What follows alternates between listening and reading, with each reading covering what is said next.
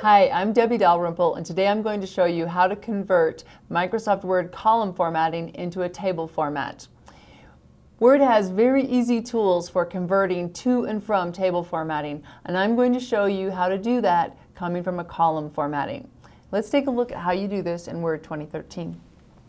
Here we have a document in Microsoft Word with a two-column format. The first step in converting it to a table format is to turn off the columns. So we'll click on the page layout ribbon and then the columns button. And you technically can't turn off columns in Word, you can just turn them to one column. So we're going to select one column and now our document is one column wide and then we're going to select the entire document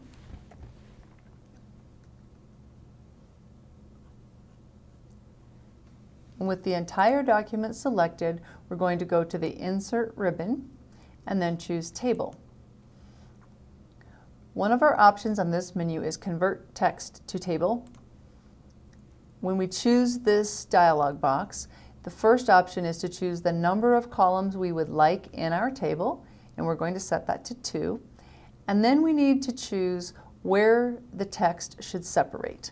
Right now you'll notice that Word has that set to separate text at commas.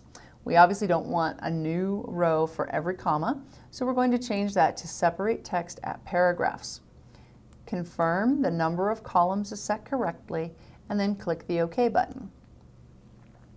We now, instead of a two-column document, we have a two-column table in our document.